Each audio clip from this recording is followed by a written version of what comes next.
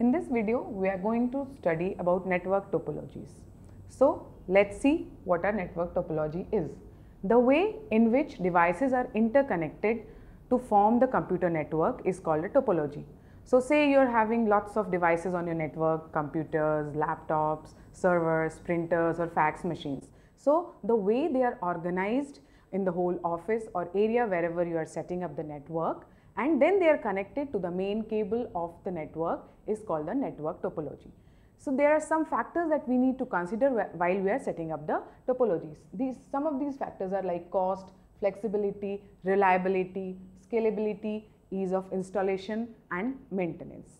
Cost is always the foremost concern when we are setting up a network. Why? Because the length of the cable, the difference between the server and other nodes that determines what the cost of the overall network would be. Then flexibility.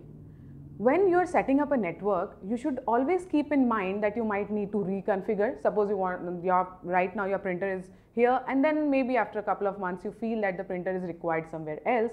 Then in that case, it should be flexible enough. The network should be flexible enough that you can move that printer or any other piece of network device without affecting the network even for a single day or even a single hour or a single moment.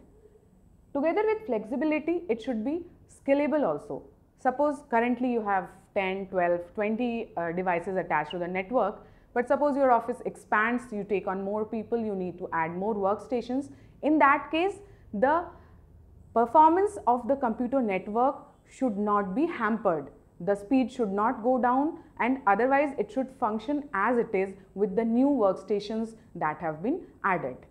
Then at last we should take in mind that it should be very easy to install as well as maintain.